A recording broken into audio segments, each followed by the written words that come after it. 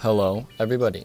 Today I'm here with the May Sign-In Hero, and that's really all we've got for you. There's a shop refresh as well, but the main uh, purpose of this video is to look at the new hero, which is Pocahontas from Disney's Pocahontas. And another new series coming in, uh, another one on my list of 10 series I wanted to see. Um, I said it'd be nice to get um, John. Wait. um, if you can't tell, I've never seen Pocahontas.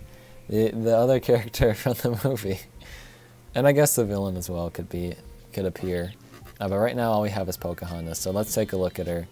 And um, like I said, I've never actually seen Pocahontas. I, I just didn't happen to see it as a kid. And now that I'm older, I just don't have the interest to see it, I guess. But let me know if it's a good movie. If it's really good, I'll watch it. Um, but I've never seen it, so uh, I have no reference for the source material. But I pulled up a reference image because I feel like her face is a little bit off. And I think it might be the nose that's throwing me off because in the reference photos I'm looking at, she has a very like solid line on her nose in most of the photos. And here, there's like no line for like the bridge specifically. And I really feel like that's throwing me off because uh, I'm looking at the rest of her features and they look pretty normal. So I don't know um, what it is. And hopefully she'll look like her animations will make her look a bit more, more normal in the game. I don't know, I feel like the style is a little different in the movie, I guess. And it really is just that bridge of the nose, I think, that's messing with me. But the rest of her looks really good. And um, I think the dress, like the uh, drawing style of the dress is really cool. Um, I'm interested to see uh, what animation she has really. I'm guessing a Colors of the Wind kind of thing will show up in some way. Um, and she's a control hero and will be the May Sign-In hero. Um, I, I guess I don't know what else to say. We got a, I got a notification this morning that said we are going to be getting a princess event. So I was thinking, okay, we're getting our patch notes today. Who are we going to get?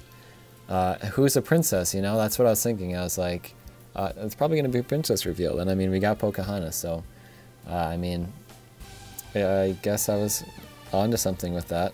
I, I would assume that was intentional. Uh, I haven't looked to see if she's appeared in game yet. She might already have, which means right after this video I'll have that as well. Uh, but let's look through her skills. The Wind Gust in its passive form. Her basic attack is a swirl of wind that damages and knocks enemies back, which seems to be the colors of the wind, which I was just speaking about. And as I'm already looking at the active, Pocahontas summons the colors of the winds, which stuns enemies and heals herself and her allies. So yeah, um, obviously the colors of the wind are going to be in this uh, move set in some form. Uh, I believe, and again, uh, in Disney Sorcerer's Arena, we see the colors of the wind be one of her main moves as well. So obviously that makes sense. The main passive move is just a basic swirl of wind, but apparently the active one is actually the colors of the wind. Alright, the Raccoon Steal. Meeko the Raccoon steals energy from the enemy with the steals energy from the enemy with the most energy every few seconds and gives it to Pocahontas. Uh, so Meeko makes an appearance. I guess he won't be his own hero, uh, which is a little sad. But it's cool to have some representation of him. And it looks like, again, another character. We've got Flit here, who could have been... I could see a, a duo with uh, Meeko and Flit, but instead they're being uh, part of her move set. So she's kind of a trio in a way, I guess. Anyways, Flit comes in and uh, flies at a random enemy every few seconds to deal damage to them, stun them, and remove a certain amount of their active buffs with the longest remaining durations. The Lending Aid. Pocahontas grants herself and allies buffs based on their team color at the start of each battle. These buffs are increased by a percent each time Pocahontas uses Wind Gust up to a maximum bonus. I don't know how it um, clarifies which color team you are. Is it the strongest hero? What team they're on? Is it the most, like if three out of five of them are red, does that make it a red team? I, I honestly don't know.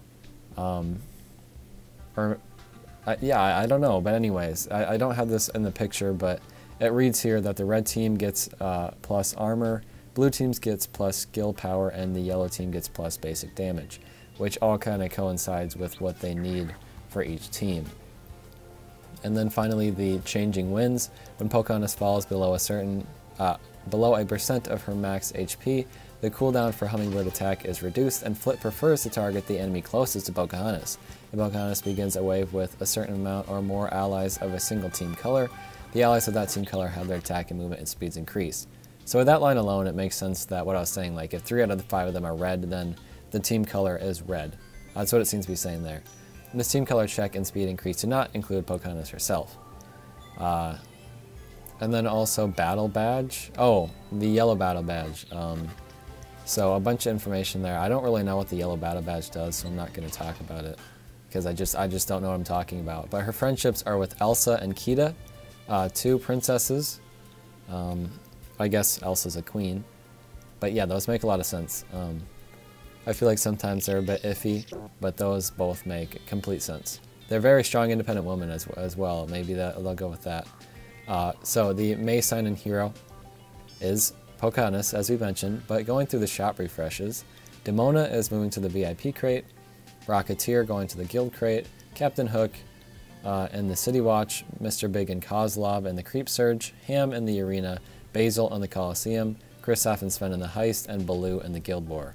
Big ones to mention are Baloo, who just got out of the Coliseum crate, Hamm, which was a sign-in hero and was just in the um, in the guild crate, who's being replaced with the Rocketeer now, and Mr. Big and Kozlov to have a better way to get them in the Creep Surge shop.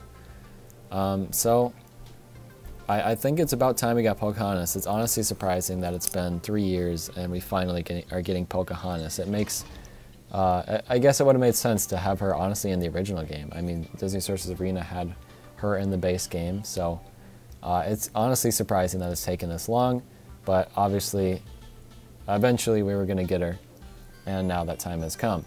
Um, we're all hoping that we're going to get a Mickey Mouse character for the anniversary. There's no confirmation of that whatsoever so far.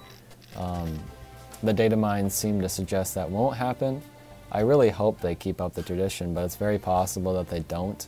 We only got, we didn't get any Valentine's characters or anything, you know, they have been kind of slacking in those regards. So for all we know, we are not getting an anniversary special character. You know, we might get an anniversary update with maybe like multiple characters to celebrate, but we will probably not be getting a Mickey Mouse character, which is really sad. I'm still hopeful that they've got a surprise. They uh, can have surprises. Um, I'm just not completely expecting it. Uh, and I hope I'm wrong, but I'm just not expecting it. But I shouldn't be a downer. It's exciting to get Pocahontas. I will have her on the 7th when she is available through the sign-in, um, you know, calendar. So I will see you then. Thank you for watching. Goodbye.